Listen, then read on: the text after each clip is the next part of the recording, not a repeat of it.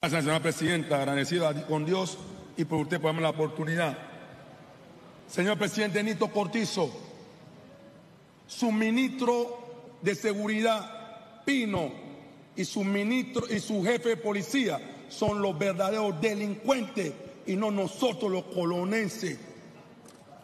Hoy nuestra provincia, con causa justa, salió a la calle con dirigentes serios y ustedes ultrajaron a nuestra gente.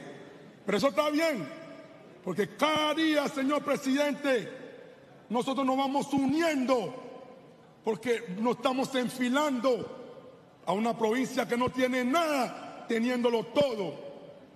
Porque ayer en Divisa, su ministro de Seguridad y su jefe de policía no mandaron los antimotines y paralizaron el interior de la República? A nosotros los negros, los congos, los tontos, a ustedes sí nos mandan a nosotros los policías y se llevan a nuestros dirigentes presos.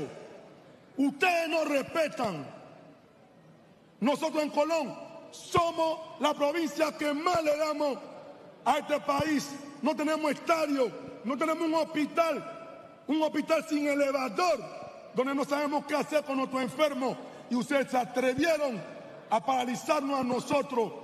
Pero sus días siguen contándose.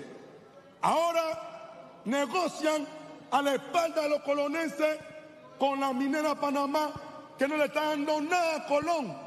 No tenemos estadio, no tenemos hospital, no tenemos nada que quiere que haga.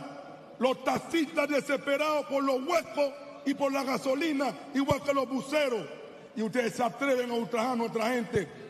Y no es que nosotros estamos de acuerdo con los cierres, porque hay algunos grupitos de 10, 20 gatitos que cuando quieren cerrar la provincia está bien, pero esta es una marcha anunciada por dirigentes serios de la provincia y ustedes no están haciendo mártir en meterlos presos y tirarle gas pimienta. Nos estamos enfilando ahora en enero una minera que está negociando con gente del gobierno tras batidores ¿O qué quieren? ¿Robarse los millones de nosotros los colonenses? ¿Chantajear? ¿O que los políticos de siempre se lleven la plata de nuestra provincia y no lo vamos a aceptar?